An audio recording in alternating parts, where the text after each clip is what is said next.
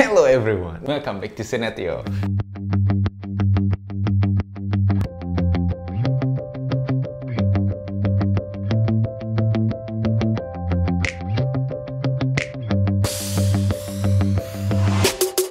Sekarang produknya mirip banget sama yang aku pernah review kemarin. Aku sebut-sebut namanya juga. Ini dia adalah Fulo ya. Fulo ini pernah bikin semacam astor-astoran gitu. Bentukannya kurang lebih kayak gimana ya? Kayak panjang-panjang gini lah ya. Stick jadinya tuh. Jadi bukan yang kayak kue bentuknya bantal. Kue yang bentuknya bantal tuh pernah dulu tuh sama apa ya? Kalau nggak salah Twister atau apa sih yang pernah bikin kue bantal kayak gini tuh. Nah kalau ini kue bantalnya itu rasanya itu bukan coklat, bukan strawberry atau vanilla. Ya ini rasanya unicorn katanya. Oh rasanya pelangi. Semacam ada kayak warna pink, kuning sama biru kalau unicorn tuh ya di sini. Nah ini ini kelihatan banget nih di bungkusnya. Di bungkusnya ada kuning, biru, sama pink ya. Ini packagingnya lumayan sih khas banget dari OT. OT-nya OT yang ini, bukan OT yang itu.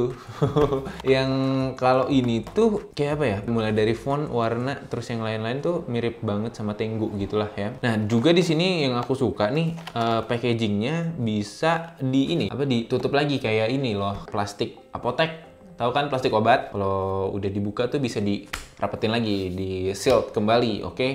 Di sini juga ada ininya nih, tulisan keep them crunchy, reseal it katanya. Jadi biar nggak melempem ya. Jadi mereka Fulo ini bikin packagingnya tuh agak lebih bisa apa kedap udara ya. Terus di belakangnya ini juga ada kayak apa ini eh, komik. Jadi nama ininya tuh nama si maskotnya ini, ini namanya Marlo katanya si Marlo, Master Fulo kali ya. Hatiku suram katanya. Nah ini cerita-cerita biasa sih yang bisa apa ya semacam kayak promo-promo gitulah produk yang ini gitu. Jadi nggak nggak ngomongin di luar konteks Fulo ternyata. Jadi ya ngomonginnya Fulo-Fulo juga ternyata ya. Kalau sobat jajan mau sambil baca gabut kali ya. Aduh ini di rumah mati listrik gitu terus. Eh, bingung masih belum apa namanya belum belum kondusif nih suasana corona ya.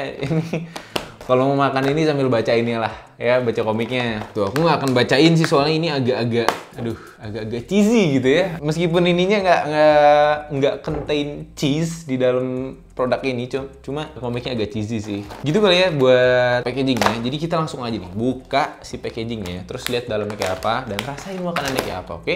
Huh semangat banget nih. Hmm, ya sampai rusak begini. Ini masih kurang nih satu lagi. Berat ternyata. Ya susah.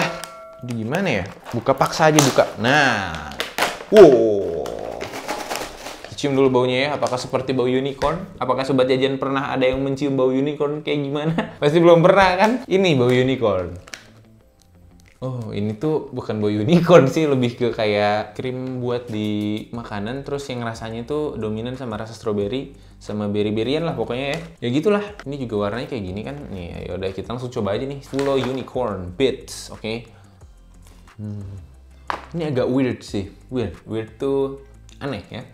Jadi rasanya tuh, hmm, aku nggak tahu sih. Aku nggak suka aja gitu. Ini rasanya aneh banget karena aku nggak familiar kali ya sama rasa yang ini nih sama rasa kayak gini-gini yang krim-krimnya tuh bukan coklat atau vanilla atau yang lain-lain gitu ya jadi itu hmm, kayak apa ya? Aku nggak tahu sih ini rasanya apa cuma aku gara-gara nggak familiar sama rasanya mungkin jadinya nggak enak gitu. Nah jadi aku nggak tahu deh ini jadinya tuh harus menginformasikan rasanya seperti apa karena rasanya itu kalau di kalau misalkan divisualisasikan ya karena warna itu bisa merepresentasikan suara dan juga rasa gitu. Sobat jajan ada yang ini nggak sih? Ada yang bisa kayak gitu nggak sih? Kayak ini tuh bener eh, rasanya tuh rasa yang warna-warni terus warnanya cerah-cerah gitu kan. Nah cuma aku nggak bisa nih nge- nge-describe rasa apa sih ini gitu. Tapi gara-gara rasanya itu apa ada kayak sedikit asam gitu ya jadi itu aku nggak terlalu suka juga sih. Karena aku biasanya makan makanan yang kayak gini tuh pasti manis. Dalamnya kalau nggak coklat coklat kacang atau apa gitu. Kalau ini bener-bener aneh banget dan aku nggak familiar gitu ya. Jadi fulo ini sih kalau buat aku nih buat aku personally wih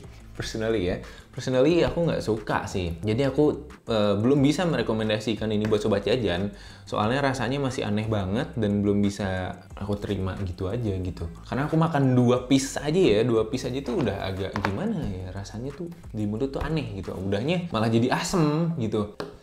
Ya gitu kali ya, aduh kasihan banget nih sumpah. Soalnya warnanya tuh udah lucu banget gitu kan, jadinya malah jadi nggak enak gitu kan kan muka kecewanya kayak apa, ya gitulah ya. So, gitu aja. Jadi kesimpulannya, aku nggak ngerekomendasi ini buat sobat jajan. Ini tuh aneh, rasanya aneh-aneh, bener aneh banget. Jadi, not recommended. Oke, okay? segitu aja kali ya review aku buat si Fulo Rainbow Beats. Eh, Rainbow lagi. Unicorn Beats ini. Jadi sampai jumpa di video aku selanjutnya. Aku pamit. Bye-bye.